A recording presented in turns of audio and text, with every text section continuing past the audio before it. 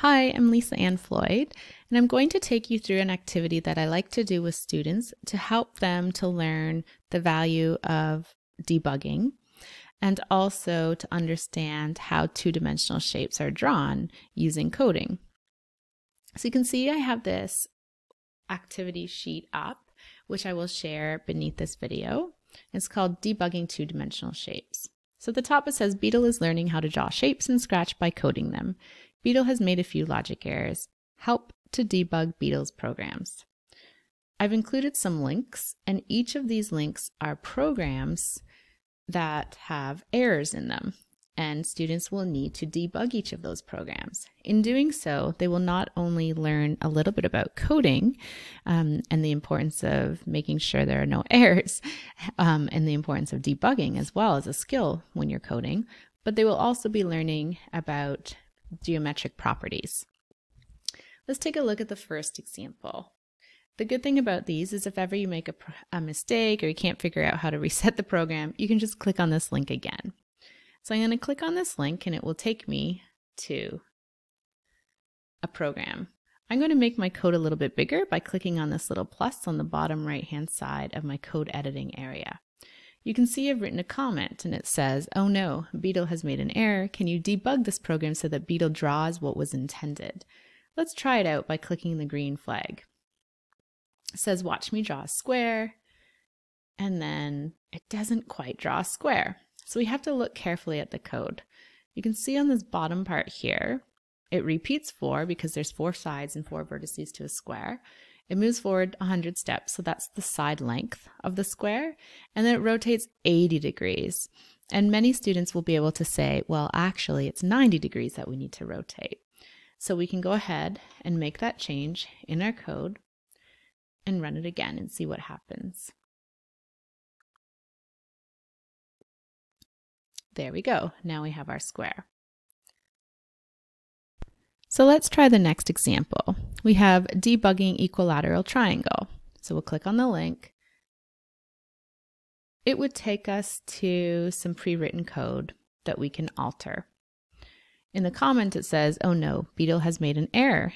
Debug the code so that Beetle draws what was intended. So let's try running it to see what happens. So it draws three lines, and you can see the repeat does have three, but it doesn't quite draw what we wanted. It doesn't look like a triangle. You can see in our code it moves 100 steps, and then it moves 150 degrees. So 150 degrees looks like it's too much because it's over um, it's not making the, the triangle that we're looking for. So let's try reducing that. Uh, now, some of your students might know that the exterior angle of a triangle is 120 degrees, um, and that's actually the value we need here. So let's run the code. So now we've debugged it so that we have a triangle. It might take people a few times, um, but eventually students do tend to get it right. If they mess up the code too much, they can just go back to this link here, this document, and go to the link again, and it will reset the program. Now we will take a look at the hexagon. So we'll click on the third link. It takes us to debugging hexagon. I'll make my code bigger so I can see it a little bit better. And I'll read the comment. It says, oh no, Beetle has made two errors. Debug the program so that Beetle draws what he intended. So in this case,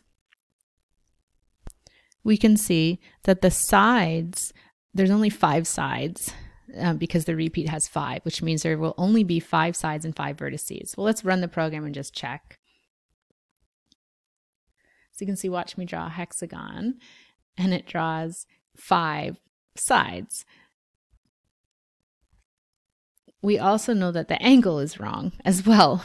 So let's first start off by changing the sides to six. So the repeat to six will make it so that we do have our five sides and five vertices, but again, the angle's not quite right. It's a little bit too small. So let's try increasing that angle a little. So I'm going to try changing it to 60. And what I do know is that the exterior angle of a hexagon is of an equilateral hexagon is 60, um, which means the interior angle is 120. 120 plus 60 equals 180. So let's try running that.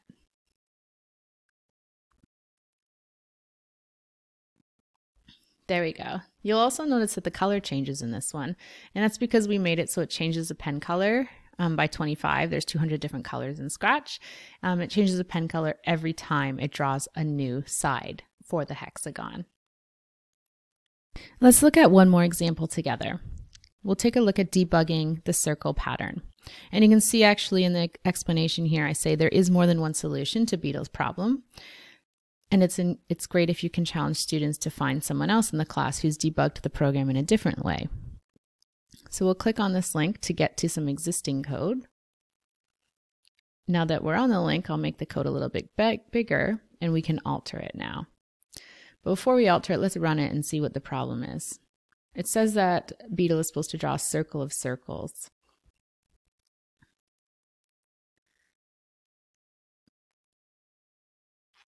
Okay, but it appears it has only drawn a half circle of circles. So in this case, we have something called a nested loop, a nested event. There are there is one loop inside of another loop. The inside loop is what makes the circle. So the circles are working, the individual circles. We have a repeat of 36 and it's moving 10 and rotating 10. So 10 times 36 is 360. So we, we know that it's making that full circle for the individual circles. Our outer circle, however, is repeating 6 and rotating 30 degrees each time. So if you multiply 6 by 30, we get 180. So there's where we're getting the half circle from. So as I mentioned, there's two different ways to fix this problem. I'm going to change the 6 to a 12, and I'll run my program again, and now I'll see what happens.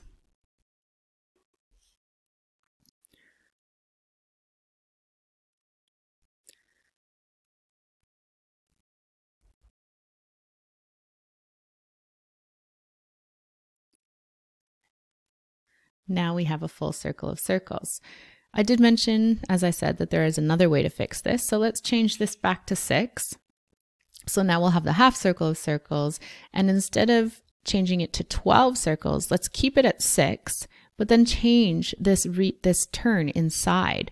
So every time it draws a circle, rather than rotating 30 degrees in between each circle, let's rotate 60. And notice that the product of 60 and 6, so 60 times 6 is 360. So we should end up with a full circle of circles again, but rather than having 12 circles, we're going to have 6.